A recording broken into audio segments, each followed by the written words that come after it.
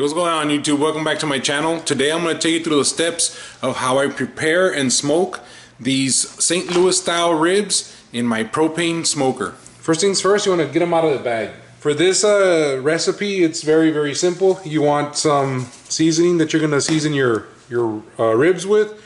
You want some mustard that you're going to use as a base. Uh, you want something to put a container in because you're going to be leaving them overnight if you have the time. And then of course some of this saran wrap to kind of cover everything up.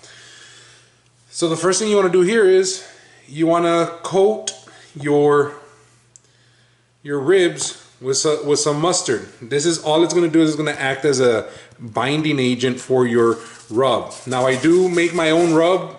I do have videos and I'll put a link on the on the video here so you guys can go see if you want to make your own rubs here. Um, comes out a lot cheaper than having to go buy some every time. But uh, check out that video as well. Is get your mustard, shake it up. And we're gonna smother this. Oop. All right, get some of these bones out of the way. I usually like to, to start the seasoning with the bottom first because that's I'm gonna, the bottom is where the, the main part of the bone is. So I'm gonna start off here and then uh, season the top. So just go at it, be generous as, as much or as little seasoning as you want. Any of your favorite rubs, or you can go ahead and check out my other video, like I said, that deals with how to make this type of rub. Gonna get every little piece here. Then we wanna flip it over and then just get the top part. All right, so now what you wanna do is you wanna put it uh, that's why I bought one of these. They're like little, uh, it's like a meat container. I'm gonna put it in here and, and uh, work on the next one. So when once you have the first one on the bottom, um, you wanna put a little uh, piece of saran wrap on top of it just to keep the first one and the second one separated more than anything is just so that the seasoning, seasoning stays on each of the racks as much as possible. So I just kind of cover this up here a little bit, kind of like so. Get our second rack, goes right on top of that one. And since we're here already, might as well open it up for the third one. Alright, there you go. So because I have time, I'm gonna go ahead and, and I'm gonna throw these in my refrigerator and leave them overnight so they can really like um, get the flavor of the seasoning. But you don't have to leave them overnight. I mean, if you're in a time crunch and if you just have 30 minutes, if you have 10 minutes, whatever it is, it's better than nothing. But um, for this cook, what I'm gonna do is I'm gonna put this in the in the refrigerator, and then I'll uh, see you guys tomorrow morning when I wake up to uh, throw these babies in my propane smoker.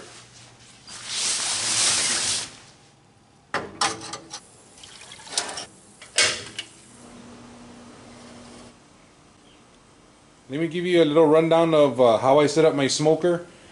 Um, I did turn it on prior, about 15-20 minutes so this thing can heat up. I did put chunks on the bottom. I, went with uh, apple wood chunks um, I did use a pan as well. If you are interested on why I have a video on that, I can uh, put it put it up for you guys so you guys can see that. Instead of water, I'm, I'm using apple cider vinegar on the pan, and um, I am for we're using the three two one method to uh, do these ribs. So the first meth the first part of the three two one is uh, three hours of smoking, just the way you see them. Just load them up on your smoker, bone side facing down, and um, you're gonna smoke them at about 225 to 250, no more than 225 to 250 uh, degrees Fahrenheit. You're gonna smoke them for three hours. So that's the first thing we're gonna do. I'm gonna close this up, smoke them, and then I will come back after the three hours and show you what to do next.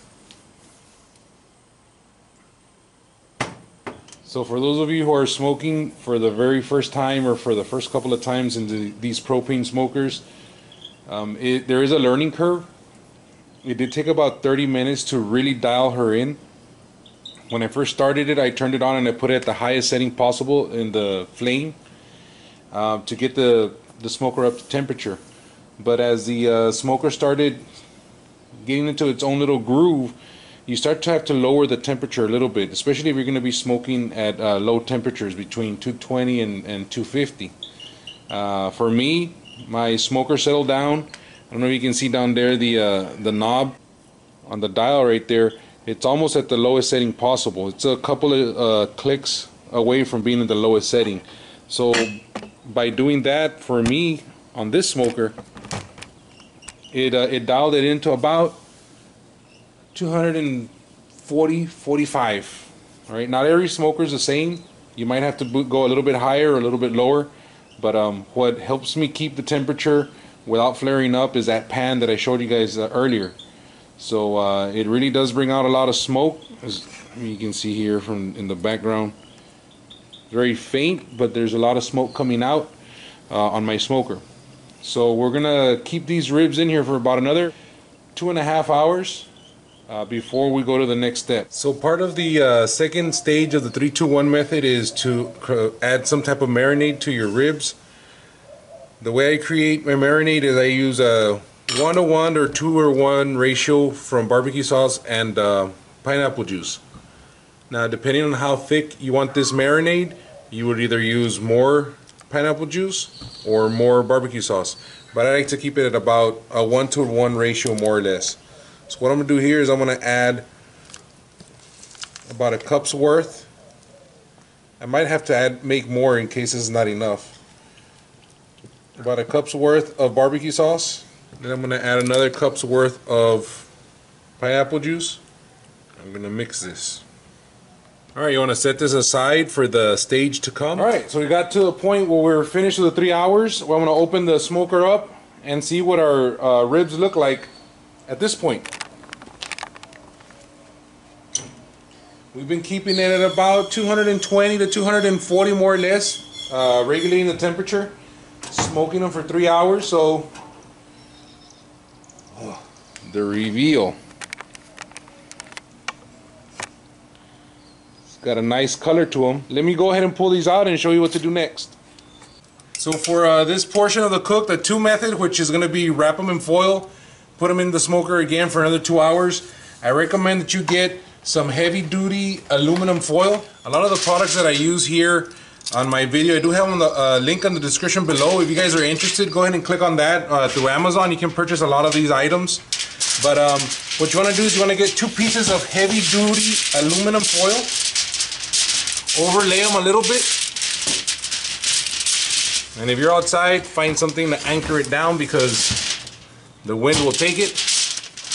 We're gonna go ahead and uh, put our first uh, slab of ribs here. All right, so here's the first one. Got a nice little color to it. For this one, we're gonna go ahead and put it bone side facing up. We're going to add that marinade that we created a little while ago. Right around there. And then we're going to wrap these up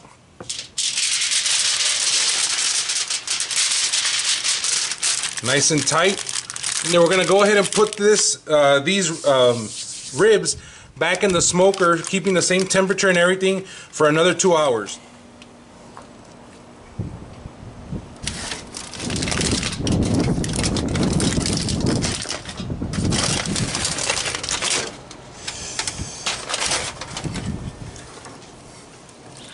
No! We got to uh, the one method and the three, two, one method. Uh, what I did is I unwrapped them and just be careful because they're hot as you can tell. This last stage, it's uh, it's a, it's really up to you. One meaning that you're gonna put them back in the in the smoker with bone facing down, and you're going to smoke them another hour. Really, this is done to kind of stiffen them up because once you wrap them in foil, it softens them really, really by a lot. So if you want a little bit of a tug to your to your uh, ribs, you want to leave them in, in here about an hour. I personally don't like them that tough, so I'll probably leave them in here about 30 minutes, 15 to 30 minutes, no more, and then pull them out. But um, at this time, if you want, you can leave the, the ribs the way they are and just uh, put them in there for that extra time that you want to do it. Or what you can also do is throw in some barbecue sauce, smother some barbecue sauce over your ribs to start giving it that little flavor. Uh, what I'm going to use is uh, Sweet Baby Ray's. Uh, and I'm going to just kind of smother it. Just be careful. Just know that um, barbecue sauce has sugars in it. And sugars tend to burn off real quick. And they tend to give your meat a, uh, a burnt look when it's not burnt. Um, so this one is really up to you. It's up to uh, for your taste. I'm just going to give it a little light slather. All right, so this is the finished product right here. Remember, it was three hours on their own, two hours wrapped with uh, marinade, and then about 30 minutes to an hour, depending on your taste, uh, wrapped, uh, unwrapped, and with a little bit of barbecue sauce. Um, we have one, two, three. This one kind of fell apart on me uh, before I could put it back in the smoker. But let's see what this baby uh, gives off.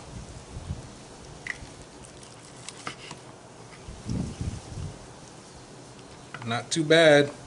Hey, look at the center cut right here. Nice. Has a little smoke ring going on right there. Not too bad. All right, I'm gonna have to taste these. I'm gonna have to taste them just to make sure, you know, quality control.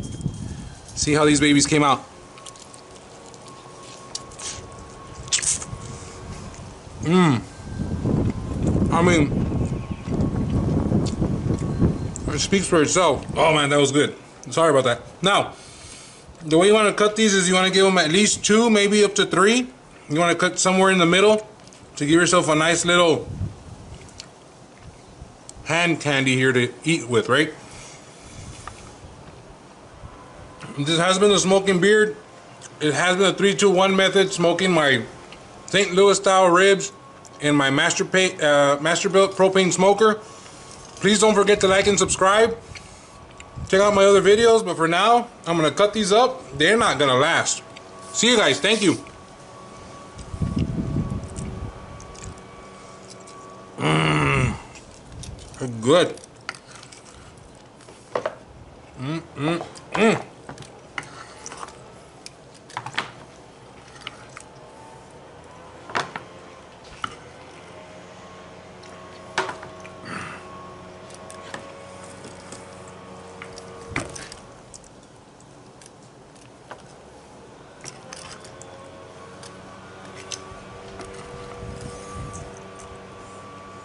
Wow.